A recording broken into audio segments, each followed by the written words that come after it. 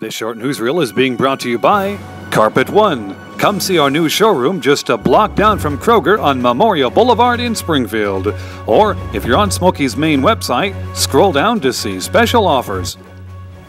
Three people were hospitalized, one with serious injuries, after an accident that occurred around 9:30 Friday evening on Highway 431. The accident occurred where 431 becomes Whites Creek Pike near the intersection of Coopertown Road. As you can see, one of the vehicles caught fire in an accident that involved a total of four vehicles. According to Metro Nashville police representatives at the scene, the trigger for the accident may have been some kind of medical emergency, although the accident is still under investigation. Looking at the condition of the vehicles, it is truly remarkable that no one was more severely injured. Two of the occupants were transported to Vanderbilt Medical Center in Nashville, and the third to Skyline Medical Center, also in Nashville. According to police, one of the occupants was transported to Vanderbilt Medical Center in critical but stable condition. Now, the injuries the other occupants sustained were less critical. As Smokey, of course, would like to wish all the occupants a fast and speedy recovery. As soon as we can get any updates on any of their conditions, of course, we will bring that to you.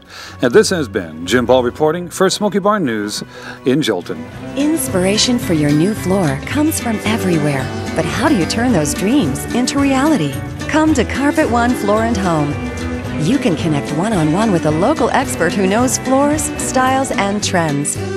We'll show you the possibilities and help you find just the right floor. Plus, we've got the largest selection at prices that'll leave you smiling. Come see our new showroom at 2810 Memorial Boulevard, just a block down from Kroger. Carpet One, we've got you covered.